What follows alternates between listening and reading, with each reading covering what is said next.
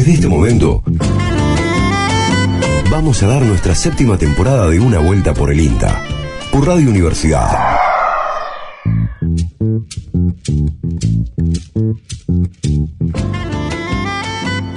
Bien, y, se viene un tema este, interesantísimo, un, evento in- interesantísimo que desde hace años se lleva adelante.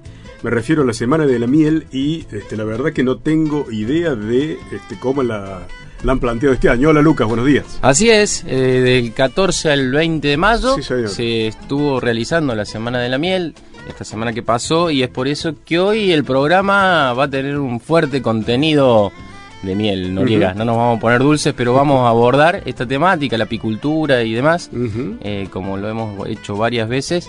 En este caso, en este programa particular, eh, de manera bastante especial. Bien. Este, además, no sé si toda la gente sabe, seguramente no. Este, yo soy de la zona de Villa María originalmente. Sí, Y en esa zona, que es- tiene fama de ser muy ventosa, este, siempre me llamó la atención este, la- la- el costado de las rutas, la- la- la- la- las cortinas de, álamos, de manera Sí. particular. Bueno, vamos a hablar de las cortinas forestales. Sí, ¿Mm? eh, hay algunos ensayos en el sur de la provincia y también eh, otros que tienen que ver eh, con el módulo periurbano de Marco Juárez. Exactamente. Que, que tiene ahí INTA eh, establece, hace investigaciones sobre, sobre todo, ¿no? Cómo producir eh, en, en- cerca de la ciudad, ¿no? Periurbanos, en sectores o módulos que están eh, que tienen la presencia o, o- o que se contempla la producción con eh, gente en las inmediaciones. Bueno, cómo se produce en el módulo periurbano este tipo de eh, desde este desde este enfoque, ¿no? Las cortinas forestales. Bien, y otro tema que es interesantísimo, siempre interesó en, cada vez que lo tocamos en el programa, que son las aromáticas y las medicinales. Hoy estrenamos una nueva columna eh, de la mano de un especialista de INTA mm, Villa Dolores. Especialistas si los hay. Sí, absolutamente. Ya ha pasado muchas veces por una vuelta por el INTA. Y hoy, eh, la semana pasada, se terminaban las columnas de huerta en espacio reducido, también la de la conservación de alimentos. Y hoy arrancamos con una que tiene que ver con las aromáticas. Sí, señor. Bueno, la tesis en dos minutos vamos a tener. ¿Mm? Y además, un trabajo que se viene realizando este, en relación a la fertilización y el manejo del suelo y la utilización para la fertilización de la nanotecnología también, ¿no? Así Así es. que bueno, eh, todos estos temas. Todos estos temas en una vuelta por el INTA. Recuerden que se pueden contactar con nosotros a través del Facebook, que nos buscan así, una vuelta por el INTA, y también por WhatsApp al 3572-528693. Por supuesto que sí. Hoy lo tenemos a Mariano Britos, como siempre, Mariano poniendo al aire el Britos en programa. los controles, Silvino Deto, Andrés del Pino, Jorge Alegre, Fabricio Taparelo, eh, eh, Mauro Bianco. Mauro Bianco, eh, algunos de los... Andrés del Pino. ¿no? Andrés del Pino, me estaba olvidando. Algunos de los integrantes del equipo de una vuelta por el INTA que nos acompañan, no presencialmente, pero en la producción de todos estos Sí, contenidos. señor. Bueno. ¿Escuchamos? Sí, señor. Escuchamos un poco de música y arrancamos con una vuelta por el INTA. Arrancamos musicalmente este gran programa de hoy con la participación de una cordobesa que cada día nos conmueve más con sus interpretaciones. Hablamos de Mary Murúa, que llega con Aroma del Lugar. Si tuviera tu canto que ha dicho tanto, no sé, no sé qué haría. Si tuviera un momento todo tu llanto, no sé, no sé qué haría. Si arrancarme una tarde el corazón, quedando así tirada sin pensar, o volver a soñar, volver a ser algo para vivir.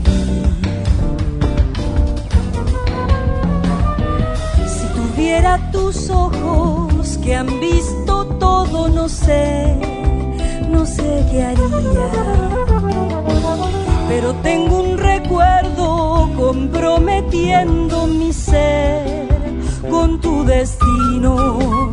Me ilumino de alegría por saber que somos de ese mismo material y que tal como vos, así soy yo, aroma del lugar.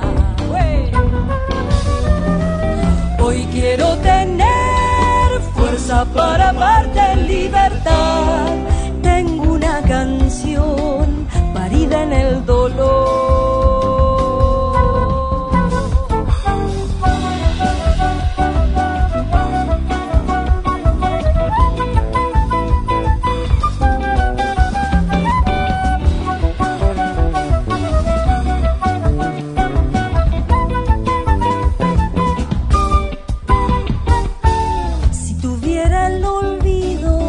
De tu quebranto, no sé, no sé qué haría.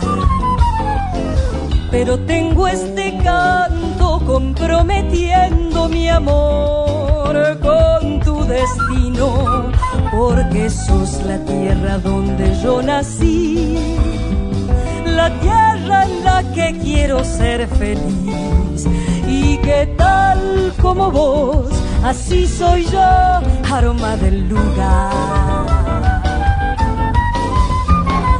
Hoy quiero tener fuerza para amarte en libertad. Tengo una canción parida en el dolor.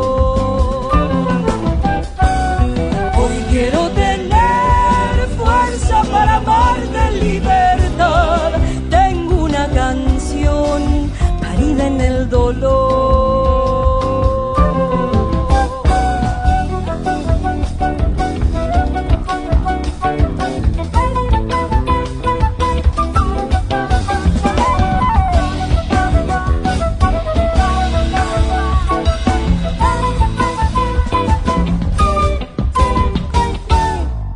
Una vuelta por el INTA. Una vuelta por el INTA. Séptima temporada.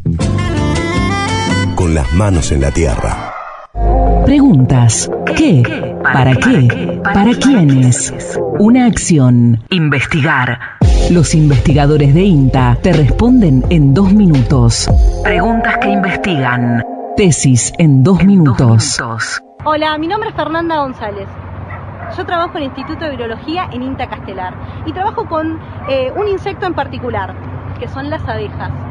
¿Vos sabías que las abejas son tan importantes para el planeta debido a su servicio de polinización? Gracias a ello nosotros podemos obtener alimento e incluso las abejas eh, preservan ecosistemas. Pero están siendo afectadas por diferentes patógenos. Uno de ellos son los virus. Y mi tesis doctoral se basa en estudiar un virus en particular, que se conoce como el virus de alas deformadas. Como bien lo dice su nombre, genera malformaciones en las alas. Y esto provoca un impacto a nivel de la colonia, debido a que si eh, las abejas tienen alas deformadas o ausencia de las mismas, no pueden ir a buscar su alimento. Es por eso que parte de mi tesis doctoral se basa en poder desarrollar nuevas herramientas para detectar este virus en particular y ver el impacto que genera en la colmena. Para ello me encuentro desarrollando muestreos en distintas partes de la provincia de Entre Ríos. Se toman las muestras, se llevan al laboratorio y en el laboratorio las analizamos. Bueno, espero que con mis resultados eh, poder generar nuevos conocimientos que faciliten a mejorar la sanidad de las abejas Preguntas. ¿Qué? ¿Para qué? ¿Para quiénes? Una acción. Investigar.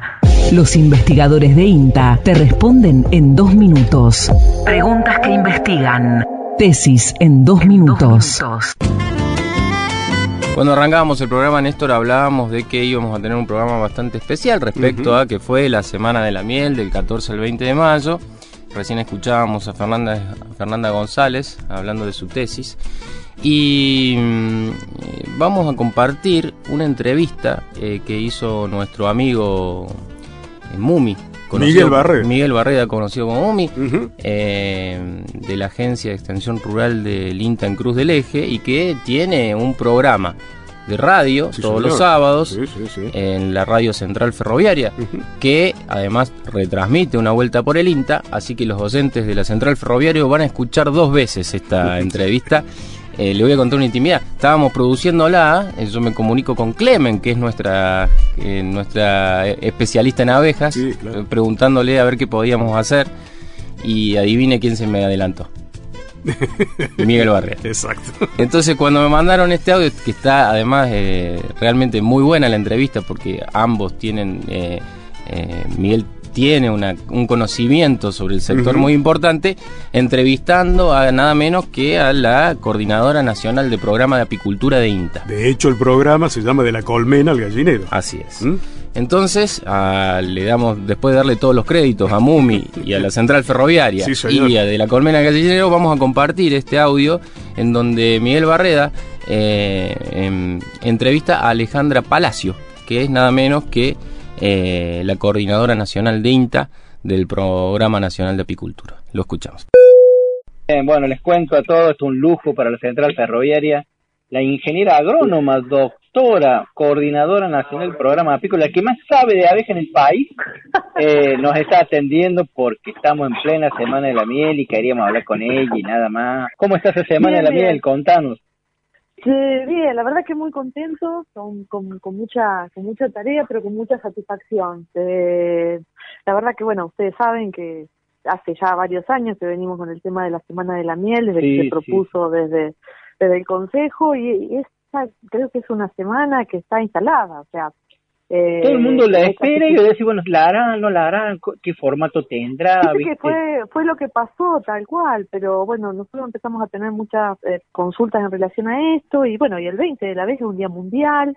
Claro. Así que bueno, eh, decidimos eh, sumarnos a esta campaña y, y, con las herramientas que tenemos, con el tema de la virtualidad, nos parecía que era una manera de llegar y llegar masivamente. Así que dentro del equipo lo comenzamos a, discutir y, y, viste que la semana es del 14 al 20. Del 14 al Nosotros no, no, no, nos alcanzaba para decir lo que teníamos ganas de decir, así que empezamos la semana el día 2. Ah. Entonces, eh, eh, del 12 al 20. nosotros... para, para día a día ir planteando diferentes eh, propiedades y características y no solamente quedarnos en, la miel, sino también el, el, el, apicultor, ¿no? El apicultor, la, persona, tal cual, el productor, sí, sí, el que toma las eh, decisiones a la larga, la abeja tiene su carácter. Sí, poniendo, poniendo en valor, la miel, sí. Sí, poniendo en valor producto, la nobleza del producto. de la diversidad, la calidad que eh, nosotros como, como país y lo que hoy tracciona en gran parte el sector es el tema de, la exportación, es muy importante esto de mantener la calidad, pero también de eh, la miel que queremos, que es justamente consumir más miel en Argentina. Y la abeja como polinizador. Eh, te cuento esto, el noticiero nuestro, donde va a salir esta nota, se llama De la colmena al gallinero, porque nosotros cuando hicimos un análisis de la ruralidad, vimos dos cosas, ¿no? La gente que vive en el campo, lo, lo más simbólico que tiene, la que vive en el lugar, son las gallinas, ¿no? Y nos parecía importante rescatar la avicultura casera como como herramienta, pero la apicultura es la que suma mucha gente a los territorios, ¿no? Gente que incluso no vive en esos lugares, pero protege el monte, protege el ambiente eh, y mantiene una, una relación en lo que es producción, extracción de miel, cosecha, venta, una locura la integración, de hecho la mesa apícola de, de acá de Cruz del Eje, el noroeste de Córdoba, anda muy bien porque tiene toda esa cadena de actores. Pero yo quería hablar con vos un poco de, de la importancia de esto nacional, que lo nombraste ahí, eh, cómo estamos a nivel mundial, cómo está la cantidad y la calidad de miel que está vendiendo Argentina, cómo está andando eso, Alex. Mirá, bueno, vos sabés que, eh, bueno, eso que vos planteás es, es, realmente espectacular lo que ustedes tienen ahí, como también hay muchísimos otros territorios donde esa, la cadena de valor se, se organiza localmente y estás ahí en la feria o estás, bueno, e, e, eso es espectacular. Pero la realidad es que el 95% de la miel argentina eh, eso va cambiando, pero eh, el mayor porcentaje de, la miel argentina se exporta y quien tracciona en general la, la cadena tiene que ver con esto. Y nosotros estamos convencidos de que la verdadera importancia de la abeja tiene que ver con la polinización, la biodiversidad, pero para poder, para poder cuidarla para el apicultor eso tiene que ser negocio, entonces tenemos que cuidar eso, tenemos que cuidar esa competitividad. El marco de rentabilidad, sí, te entiendo. El, los últimos años han sido bastante complicados para el sector apícola, porque el tema de fraude de la miel a nivel internacional, el tema de las mieles asiáticas adulteradas, pero también con otros niveles de, de, fraude, con otros tipos de fraude, hizo que el precio de la miel a nivel internacional disminuyera y que aún sabiendo que la nuestra era una miel de mejor calidad y que no hace tantos años valía tres veces más que la miel china o la miel eh, de otros países de Asia, eh, esa situación se perdió y perdimos esa, esa, esa ventaja porque se inundó de ese producto que no es miel pero que está en el mercado y que se lo compra como miel. Claro. Eso y que llegó a encima era que- más barato, claro, te bajó el precio Por también. supuesto, claro. Entonces eh, eh, eh, es difícil competir contra eso. Eso mm, eh, fue un impacto negativo para el sector, no solo para Argentina, sino para todos los otros países que también producen miel genuina, miel Sí, verdaderamente. miel realmente bien. Miel, claro. Esto llevó a, a- a toda una, una, mm, una estrategia también liderada por, por, por Argentina y, y con esto de la alianza público-privada, ¿no? O sea, quienes, porque acá de lo que se trata es de, de- del sector apícola en su conjunto de posicionar, eh, visibilizar a nivel mundial esta situación, en lo cual eh, Apimondia lideró esto, con, o sea, se, se- se pudo liderar, bueno, acá tuvo mucho que ver Norberto García, que es el secretario de la Comisión de Apimondia, pero se trabajó mucho para, para visibilizar esto. Esta La cuestión de la adulteración de mieles o, o, cosas que no eran mieles, concretamente a nivel Exactamente, mundial. por ejemplo, la alimentación de, de las colmenas en el flujo de néctar, entonces la abeja no tiene que ir a buscar el néctar, lo tiene ahí y eso también es parte de fraude, no es solamente Ah, poner el, el jarabe de arroz en el tambor, sino hay otras maneras de hacer fraude que realmente se realizan. El secado de la miel, cosechar la miel eh, húmeda, o sea, la abeja no pierde energía deshidratando esa miel, cosechar la miel última- húmeda y la deshidratás en fábrica, en, en caño, Eso también en cañería. es adulterar. Entonces, eso es también fraude. No es la Claro. adulteración en sí, pero sí fraude, porque miel es el producto que la abeja toma el néctar de las flores, lo transporta, lo transforma, transforma sus azúcares, lo deshidrata, lo deposita en los panales. Eso que nosotros sacamos, que el apicultor extrae durante el día, eso es la miel. Mira si vos le agregás algo, le sacás algo, eh, le sacás agua, le sacás humedad, o le agregás jarabe, o para le agregás polen, o le agregás alguna sustancia, o le retirás un contaminante eh, artificialmente a través de, de, de procedimientos, eso ya no es miel. Más allá bárbaro. de la adulteración, eso ya no es miel. Y eso hoy está visible a nivel internacional a través de un documento que se elaboró el año pasado en Apimondia, otro mucho más específico que se volvió, se elaboró, eh, se publicó en enero de este año y como consecuencia también de la movida que se hizo muy fuerte en todo lo que tuvo que ver eh, Apimondia en Canadá, Claro. donde ese tema, este tema estuvo visibilizado a nivel internacional. Y también con un buen posicionamiento de Argentina en relación a eso.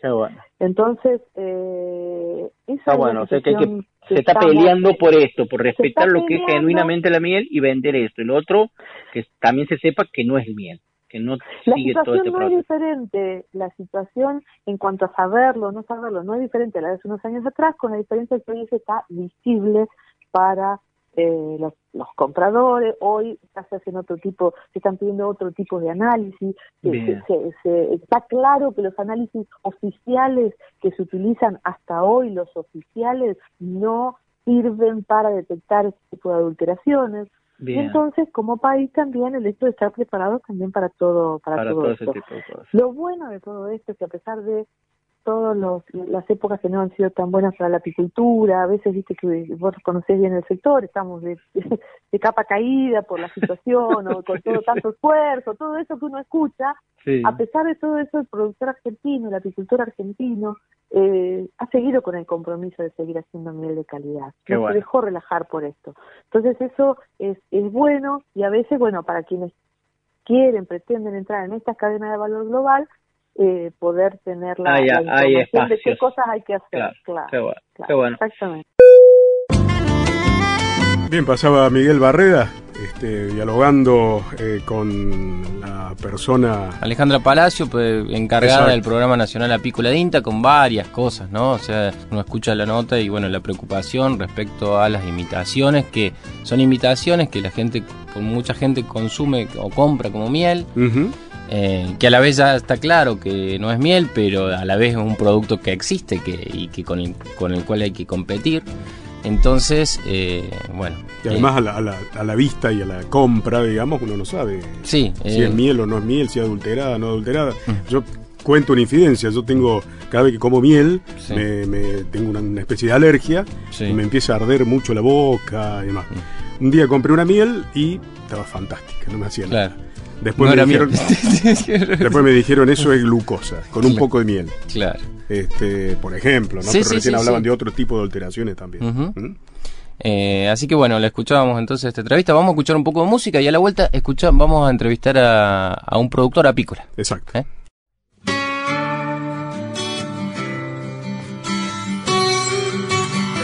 Un poco de rock nacional de otras épocas. Volvemos en el tiempo hasta la década de los 90 con Los Guarros, la banda creada por Javier Calamaro y Daniel Gitano Herrera. Los Guarros nos traen Abeja Reina. abeja reina.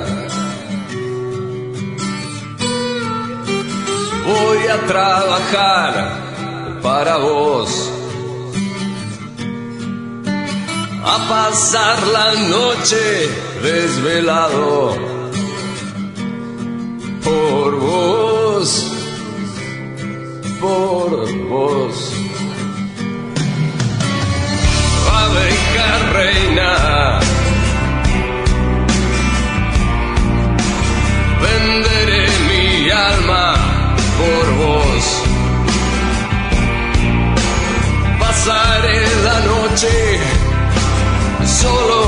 Y aburrido en una cárcel de cristal.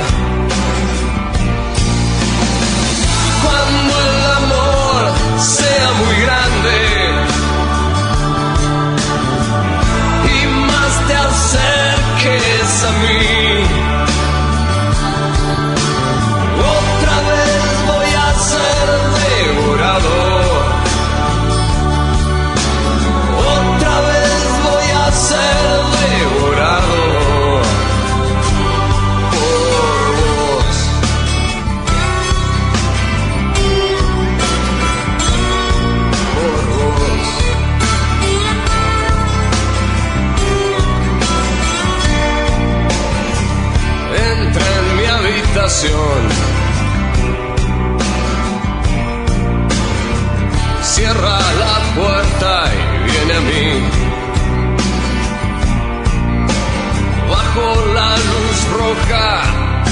tus ojos me acechan.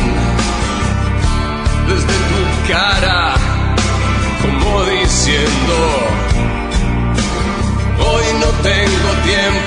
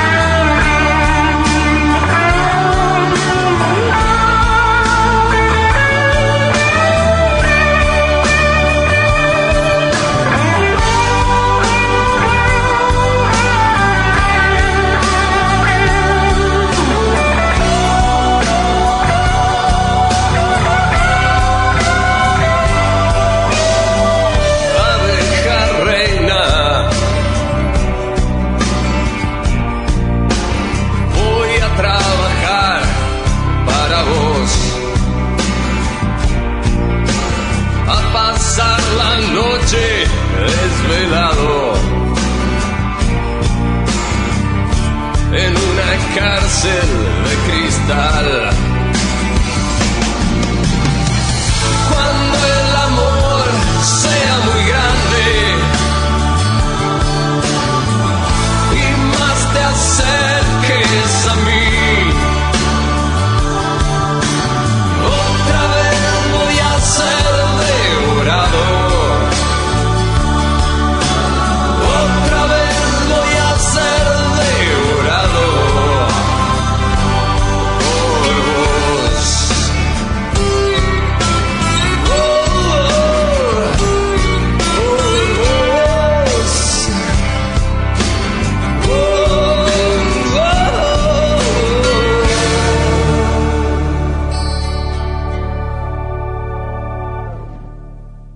Estamos escuchando Una Vuelta por el INTA. En el anterior bloque decíamos que íbamos a conversar con un productor apícola. Eh, vamos a viajar hasta la Bulalle, Néstor. Eh, allí nuestro entrevistado, Rodrigo Magra, tiene un emprendimiento en el departamento Roque Peña por ruta 7, kilómetro 485. Ahí eh, nuestro amigo Rodrigo tiene sus colmenas. ¿Cómo estás, Rodrigo? Eh, hola, buen día, eh, Lucas, ¿no es cierto? Lucas, Lucas y Néstor, te saludamos aquí desde una vuelta por el INTA. Lucas y, Néstor. Sí, bueno, un saludo grande, un saludo para toda la para toda la audiencia que está escuchando. Eh, bueno, en la semana de la de la miel, bueno, en primer lugar quiero agradecerle a Dios por esta por este momento, por, por justo que se dio que, para que me hablen a mí para para mm, hablar sobre la apicultura. Así que bueno, agradecerles, agradecerles por este momento. Contanos, Rodrigo, ¿qué, qué, qué, qué tipo de apicultura haces? ¿Cuántas colmenas tenés? ¿Cómo, cómo, cómo es tu emprendimiento? Bueno, eh, la apicultura que yo hago es eh, una apicultura tradicional, que vendría a ser una agricultura eh, sedentaria. O sea, no no hago, eh, no hacemos transhumancia. O sea, no es que movemos las colmenas de, de, la Oulache para, para el norte de Córdoba o para, mm, para Tucumán. O sea, lo hacía antes cuando trabajaba de empleado y, bueno, y ahí aprendí eh, lo que lo que sé y lo después de ya hace que estoy con el tema de las abejas 21 años y, y, tengo en total 110 colmenas. Tengo otro trabajo aparte que, que bueno, o sea, el, el, tema de las colmenas lo voy llevando como tengo una familia y todo lo demás, o sea, eh, a pasitos chicos. pero, de manera complementaria, digamos.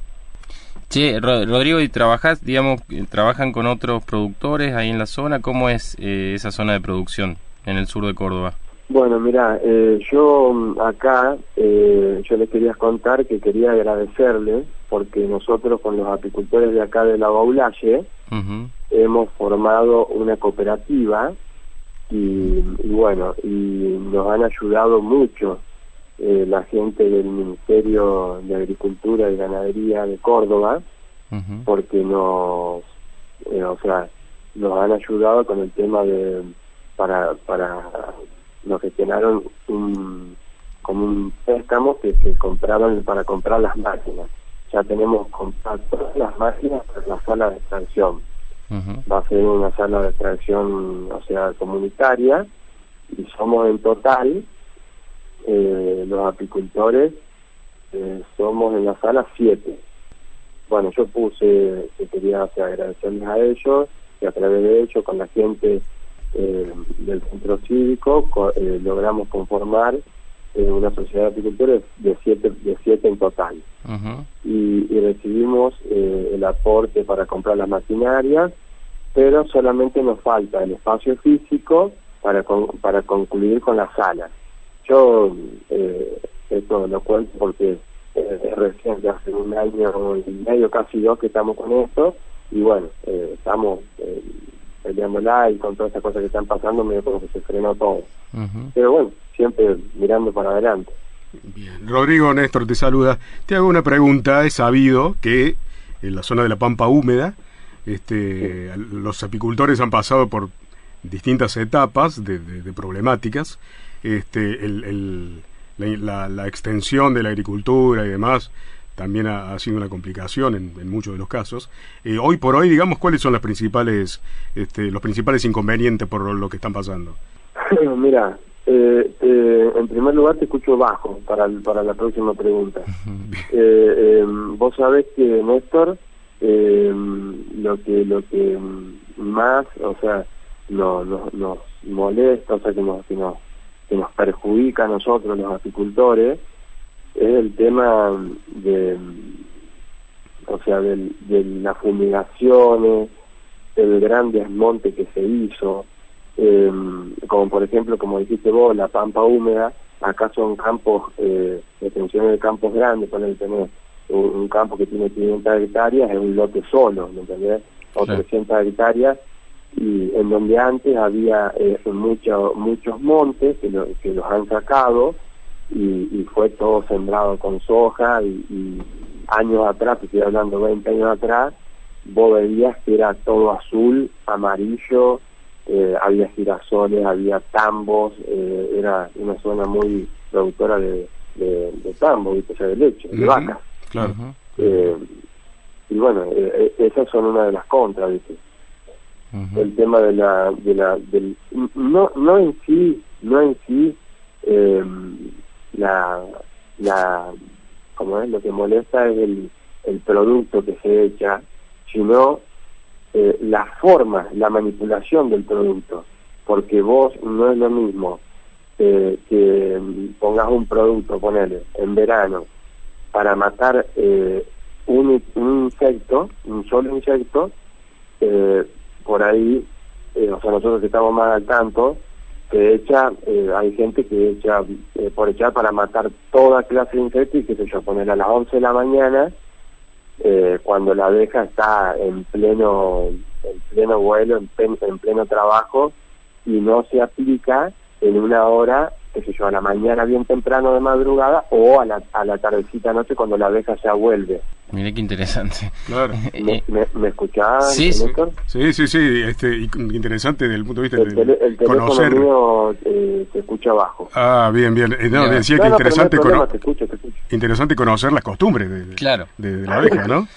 Eh, que, eh, vos te saco un poquito mm, de ese tema, Rodrigo, para preguntarte, cuando te escuchaba, digamos, eh, bueno, hace mucho que, que producís miel y entiendo que debes conocer el comportamiento de las abejas, digamos, a partir de, tu, de tus comentarios anteriores al dedillo. ¿Qué cosas te impresionan de su comportamiento? ¿Qué cosas a vos te han llamado realmente la atención? Eh, o sea, que me impresionen como algo, como algo sí, bueno sí, no, como quieras. Este, digo, ah. es, es como un mundo, nosotros siempre hablamos acá de que es un mundo muy particular, el de la apicultura, que hay que conocer mucho, hay que saber mucho, hay que leer mucho. Y, las abejas a la vez tienen comportamientos distintos, digamos. Eh. cual. Yo lo que lo que más, eh, o sea, admiro de, o sea, de la, yo soy creyente, cristiano, y, y creo en Dios, y bueno, en, la Biblia se habla mucho sobre la miel, sobre las abejas, eh, se habla mucho sobre el, fruto del trabajo.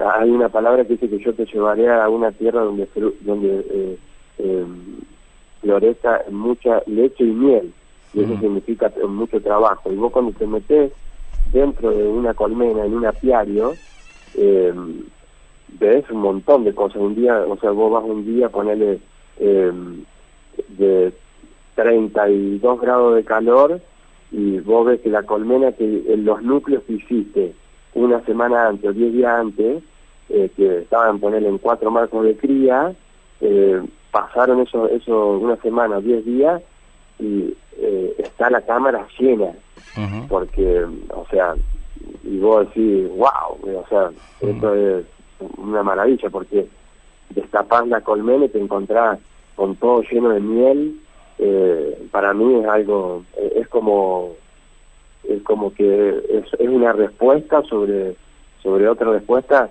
y por ahí no, sin saberlo, ¿no? Porque vos no sabés qué es lo que, qué es lo que va a pasar, sí tenés un, un manejo y todo lo que quieras, pero por ahí, eh, o sea, contra el clima, con él este año, eh, yo con 110 colmenas eh, saqué cuatro tambores de miel y, y yo estimaba sacar un año normal, eh, ponerle eh, 10, 11 tambores, 12.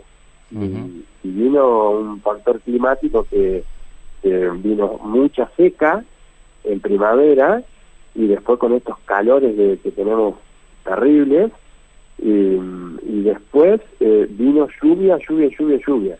Y bueno, las colmenas hicieron lo que lo que pudieron y a pesar de que uno le hace una buena sanidad, eh, tratar de hacerlo lo más ecológico posible, o sea, eh, y bueno, o sea, eh, Dios responde así, que la naturaleza es así, y contra el clima no podés hacer nada. Pero, si vos vas a ponerle hoy, yo te mando una foto, después te voy a mandar una foto de cómo están las colmenas hoy, que ya están curadas, que ya están, ya las hemos alimentado a las que le faltaba, eh, ya le hemos puesto proteína, hemos todo, hecho todo el trabajo otoñal y luego vienen lo que son las colmenas, están para cargarlas y hacer una transhumancia a Tucumán, eh, están muy buenas. Bueno, bueno, espero esa foto, Rodrigo. Te agradecemos muchísimo el contacto eh, y bueno, que, que, vaya bien con, con ese emprendimiento. Eh, gracias, gracias por este tiempo. Bueno, no, gracias a ustedes y yo quiero, puedo agradecerle, hacer unos agradecimientos. Por supuesto. Si ustedes me lo permiten. Por supuesto. Bueno, yo de acá de la Baulalle quiero agradecer eh, a los dueños de los campos, que, que, por lo menos donde tengo yo los los campos alrededor de la Baulalle, eh, yo tengo los apiarios, eh, el más lejos, eh, 10 kilómetros, después está todo cerca de la Baulalle, de ahí para, para abajo. Agradecerles a ellos por todos estos años y por todo lo que hacen por la por ayudarnos, eh, por lo menos a mí, con el tema de la apicultura. Eh, agradecerle, bueno, a ustedes, a INTA de la Baulalle, eh, agradecerle mucho a Paola Blanco, a Anita Celafia, a Horacio Videla, que mm, nos han guiado siempre. Nosotros tenemos en el INTA un grupo GAL, que es el grupo de agricultores de la Baulalle, mm, que, no sabe lo que es ese grupo, es espectacular eh, el INTA de Río Cuarto, eh, que siempre siempre me, me mandan información, muy agradecido por eso, y el INTA de Marco Juárez. Eh, bueno, conoce más gente que nosotros en INTA, eh, Rodrigo. Eh. Conoce más gente que nosotros en INTA, creo, ¿eh? Qué bien. Ustedes son unos, unos grosos. bueno, Rodrigo. Son unos grandes, yo, yo le agradezco y los, los recontra vendido. bueno, bueno, Rodrigo, te agradecemos muchísimo este contacto, ¿eh? Que te vaya bien. Sí, bueno, bueno. Un abrazo. Un abrazo, un abrazo grande. Bueno, bueno, muchas gracias por todo. Rodrigo Madra, productor familiar eh, de la Bulalle, apícola. A mí me gusta mucho porque la gente de la zona dice la Baulalle. Sí, sí. Lo único que decimos la Bulalle somos, somos nosotros. sí, sí, sí, totalmente. Totalmente, pero bueno, terminamos con este, este, este tema, digamos, esta especial también con la Semana de la Miel, un poco vimos la realidad del norte, ¿no? Mumi contaba en la nota que compartíamos antes cómo era la producción en el norte del noroeste de Córdoba. Eh, Alejandra Palacio daba un marco más nacional y también viajamos al sur de la provincia con eh, Rodrigo que nos daba cuenta un poco de cómo era su trabajo. Y de esta actividad este, apasionante y sobre todo para la gente que se dedica a ella, ¿no? sí, sí, sí. Lo hemos hablado más de una vez, este, cómo, cómo son unos apasionados de, de esto y los vaivenes que tiene esta, como todas las actividades agropecuarias, ¿no? Pero esta de manera particular es, es, hay que ponerle el lomo. Sí, sí, absolutamente. Un poco de música, Néstor. Sí, señor. Ya volvemos. El gran Charlie García también le pone sonidos al domingo por la mañana con una de las canciones, podríamos decir, más influyentes de nuestra música. Corría el año 1984 y en las radios empezaba a sonar esta canción, Cerca de la Revolución. ¿Por qué no vienes hasta mí? ¿Por qué no puedo amarte?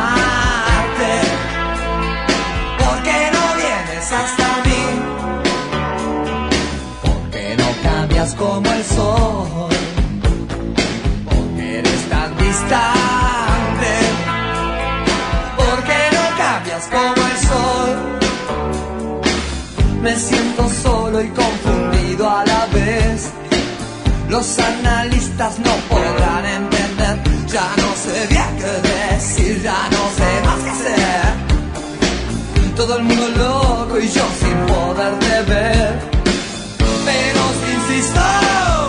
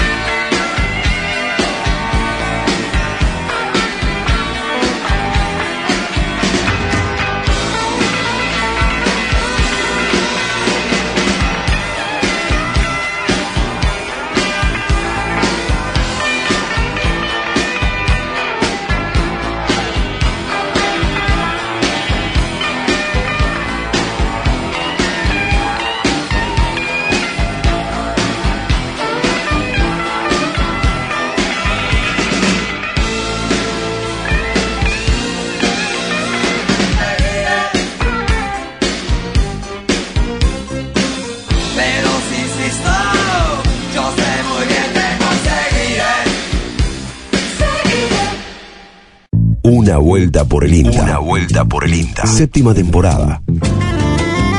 Con las manos en la tierra. Seguimos en una vuelta por el INTA. En este caso vamos a compartir, Néstor, una entrevista sobre un sobre el módulo eh, periurbano de Marco Juárez. Habíamos hablado de la producción eh, en lugares cercanos a ciudades. Allí en el módulo de, producción de Marco Juárez se están haciendo ensayos, se están probando cortinas forestales y eh, nuestros compañeros eh, dialogaban con María Beatriz Formica. en el módulo de eh, productivo periurbano de Marco Juárez, desde su instalación tenemos una cortina forestal que lo recorre en sus límites norte y oeste.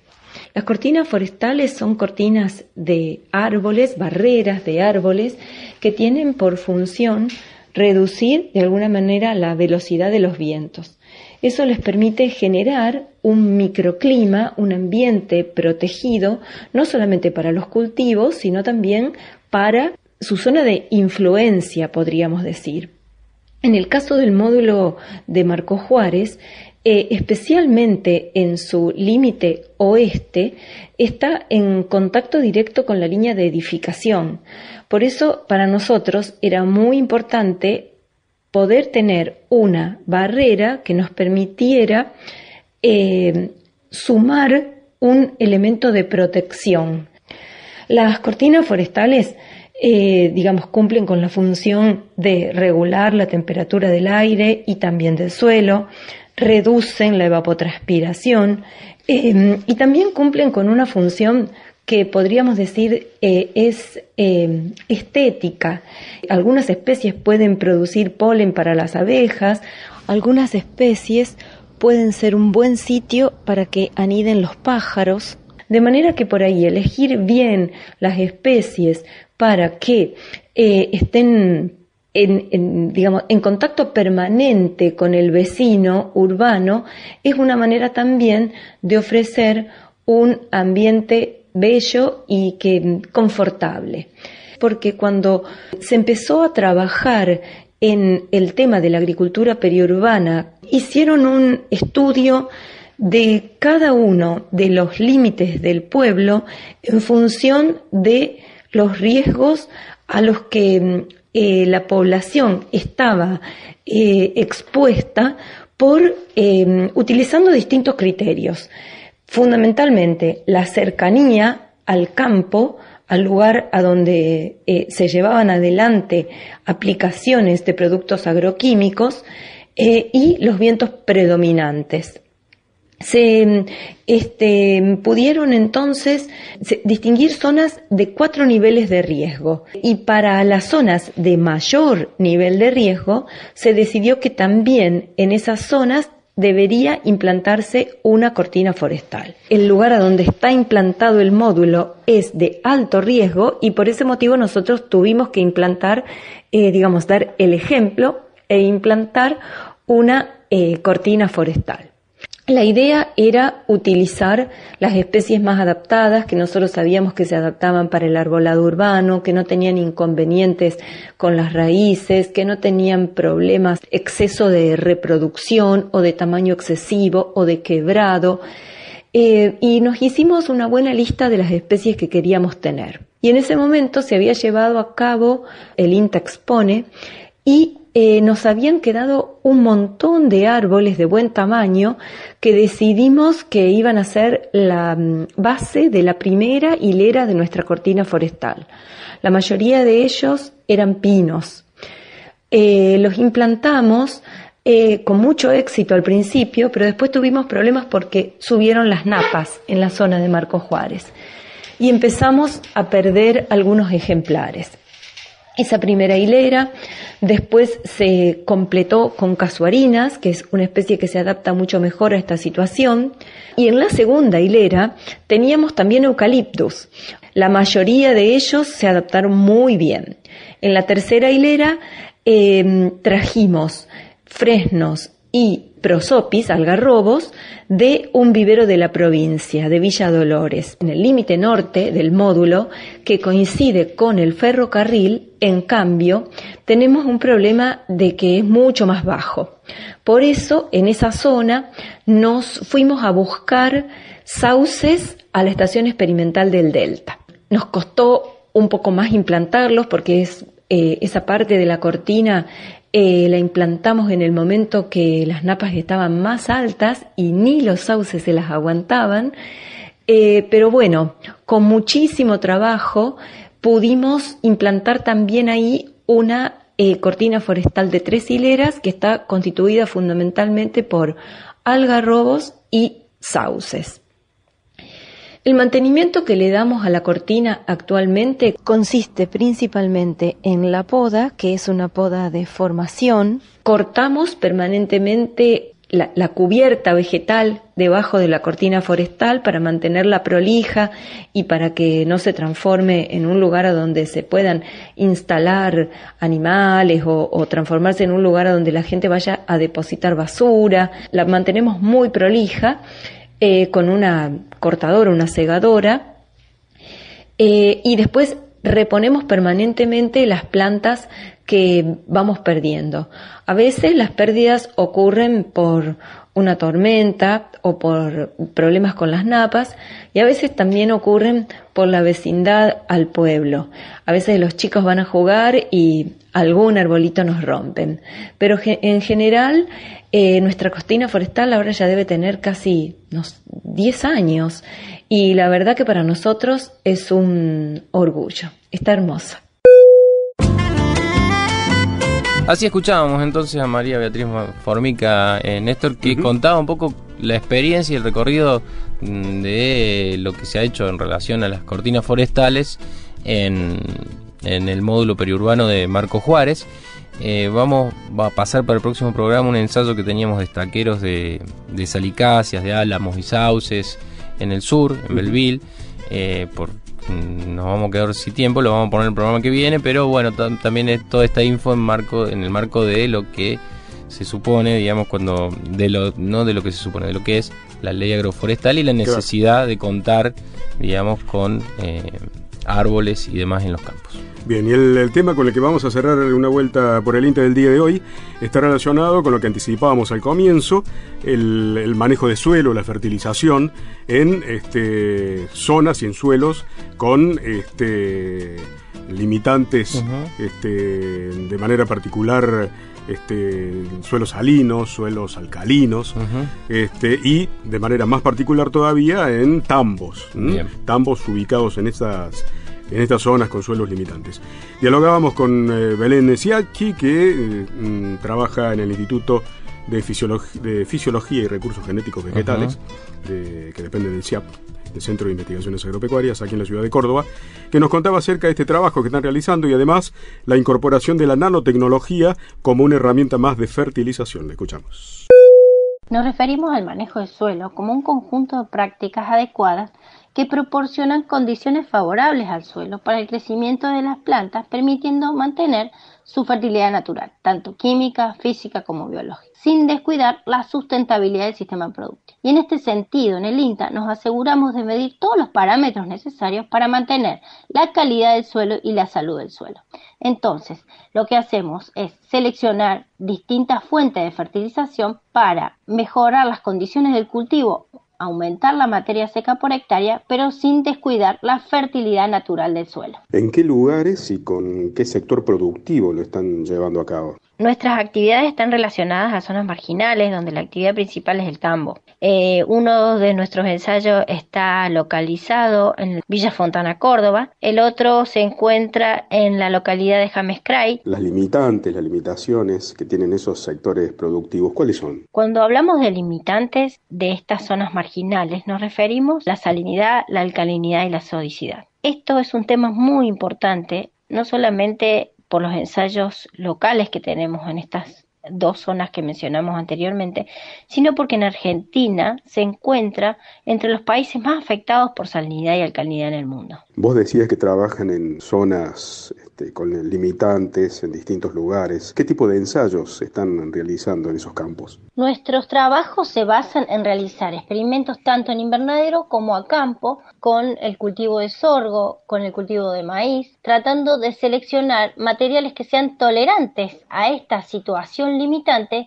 y le aplicamos un fertilizante adecuado para mantener la fertilidad natural del suelo, pero también para aumentar la producción de estos cultivos. Cuando hablas de genotipos, ¿de qué cultivo estás hablando? Bueno, en realidad empezamos trabajando con sorgo, nosotros probamos diferentes genotipos de sorgo, hay algunos sorgos azucarados que anduvieron muy bien en estas condiciones limitantes, también hemos probado algunos híbridos de maíz en la zona de James Cray y recientemente vamos a trabajar con el cultivo de alfalfa, algunos materiales son tolerantes a la salinidad y vamos a hacer tanto ensayos en invernadero como a campo midiendo parámetros fisiológicos y evaluando el comportamiento de, estos materiales y la incidencia de estos fertilizantes, estuvimos hablando anteriormente, en las propiedades físicos, químicas y biológicas del suelo. ¿Qué y cómo es la nanotecnología que han incorporado como herramienta de fertilización? La nanotecnología es la ciencia que estudia las pequeñas partículas. Para dar un ejemplo práctico, un nanómetro es la millonésima parte de un milímetro. Entonces, se utiliza para nutrir estos los cultivos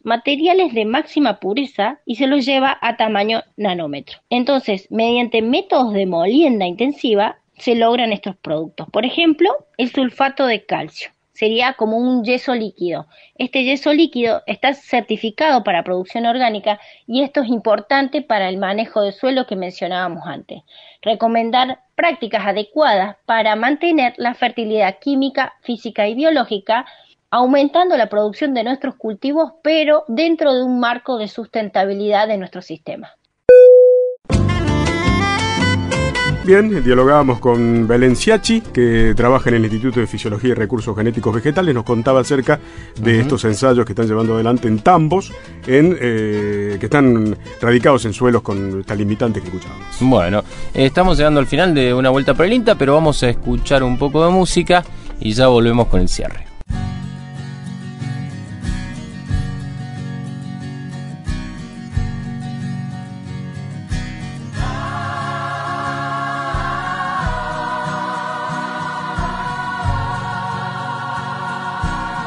¿Qué tal si compartimos un último tema musical en esta vuelta por el INTA? Quienes se suben a este escenario imaginario son los muchachos del Averizo. El tema se llama Revolución. Buen día usted, señor, ¿en qué lo puedo ayudar? De temprano vine a trabajar y así yo me gano el pan. Perdone usted, señor, el cliente tiene la razón. No levante la voz, se puede enojar mi patrón. No me grite usted de chiquito, nadie le enseñó. Si tiene cinco minutos, le puedo explicar yo que el respeto es la revolución.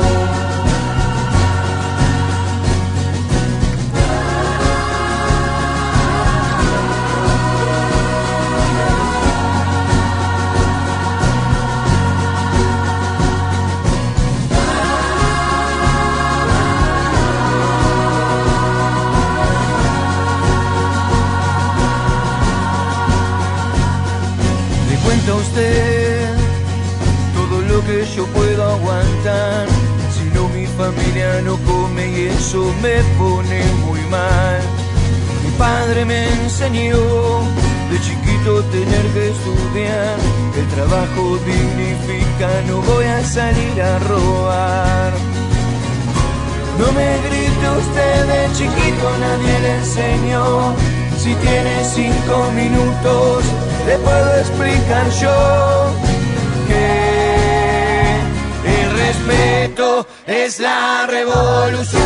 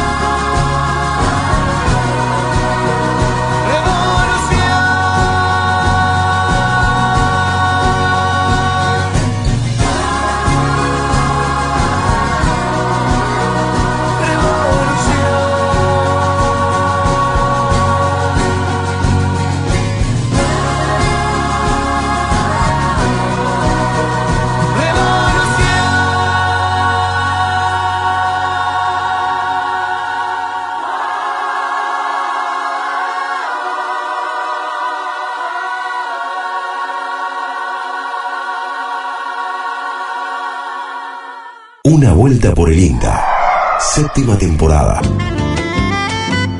Bueno, y hasta aquí llegamos, Lucas. Hasta aquí llegamos porque eh, tuvimos que levantar Llegaron, alguna de las notas. Quedamos, quedó- nos quedó afuera, mira, nos quedó afuera lo del ensayo de álamos y sauces y también eh, la primer columna de aromáticas eh, de Daniel Suárez que seguramente estarán en el, el domingo que viene Sí, en el programa. Le mandamos un abrazo muy grande a todas las FM que retransmiten una vuelta por el INTA. Hoy estuvo realmente bueno también compartir un material producido en una de ellas, sí, como al. Principio. Claro. Bueno, nada, estuvimos eh, en los controles del señor Mariano Britos eh, por una vuelta por el INTA. Silvino Deto, Andrés del Pino, Jorge Alegre, Mauro Bianco, Fabricio Taparello.